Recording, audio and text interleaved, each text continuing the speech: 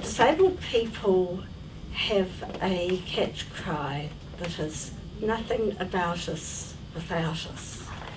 And that has been a large um, part of impelling me to be a voice from my community, articulating the concerns of New Zealand's largest minority and seeing the connections with um, other people who are marginalised by processes and um, ways of operating. I think we have expectations of belonging in our community and if you're on the margins, it's pretty hard to get to feel like you truly belong.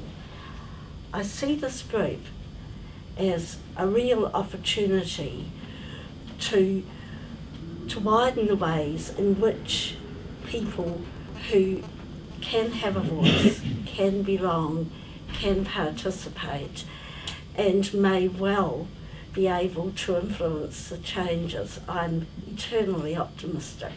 But um, I believe that we can, we can present something that will have an influence on the outcome. I also am aware that disabled people now have a convention on the rights of persons with disabilities that has greatly increased our expectations of belonging, of participation. We co-wrote that. That's what I want for all the people who are likely to be affected by, by the possibilities that have already been raised and by the lack of opportunities to participate to date. I'm looking forward to hearing from any number of people, and I, I have a, a real confidence that there are going to be a lot of themes in common. And I, I just hope that we get these, these opportunities to participate that Mike has been talking about so well. Thank you. My starting point is the United Nations Universal Declaration on Human Rights which recognises social security as a basic human right that all citizens have a right to expect as part of their humanity, as part of their citizenship. As the decades go by, the way in which we organise social security for ourselves must also change. We are at a point where the government is reviewing welfare as part of the cornerstone of our social security system.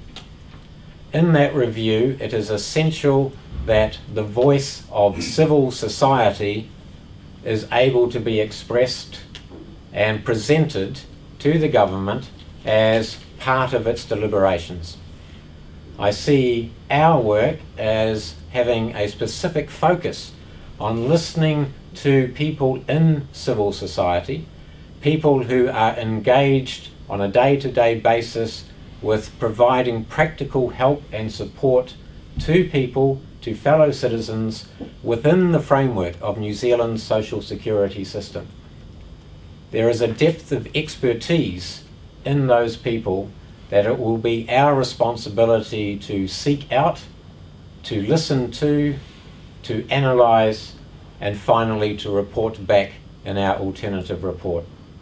Um, my experience that I bring to the table is, is primarily as a teacher of welfare law at, the, at Victoria University in the law faculty. Two things strike me. One is that the history of welfare law in this country is punctuated by a series of watersheds. So, for example, we have in 1898 the watershed passage of the old um, age of the Old Age Pension Act. Um, another watershed, the 1938 passage of the Social Security Act, the first Social Security Act, the 1964 consolidation of that legislation, um, the 1972 Commission that Mike's already talked about, the 1991 benefit cuts and the effects that that had on vast numbers of people in this country. And it's hard to speak with hindsight, but I wonder if we are, and I suspect we are now, at the edges of another watershed. So let us just keep that in mind when we come to look back on our work in years to come, how we contributed to this process. Being on the edge of something is a feeling I have at the moment, and I, um, I look forward to seeing how we can contribute to what may be a watershed. How do we want, what sort of society do we want to have Mm, mm. in years to come? What sort of society have we been? Are we really that different? And I suspect we may not like some of the answers that we see. Although our welfare system, both in context of ACC and as well as in social security law itself, has been founded on a set of principles. Now those principles can be maddening to understand and how they apply in everyday life, but they have been things that people have returned to time and time again. But there's always been a difference between the principles and the legal system that has implemented those principles, or in, in many cases, not implemented those principles. So I see my role as a legal academic to to also be mindful of how do what how do how the changes um, forthcoming in the welfare system impact upon the legal system. How what sort of laws do we want to implement uh, this this new day, this new dawn, if you like, in welfare? And in this country in particular, there's a diff- diff- difference in the, in the implementation of the legal system and its application by those who work with the laws every day, case managers, for example. So there are lots of things for us to think about that flow from principles.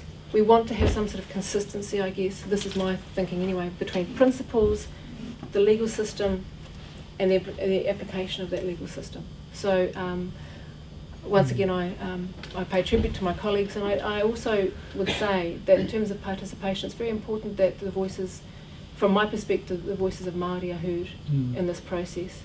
And if I can help to facilitate that in any way, um, I would, I, I, I would, I look forward to doing that. So hoi anō, he, he poto te, te kaipaipa i tēnei wā, nā reira, kia. Kia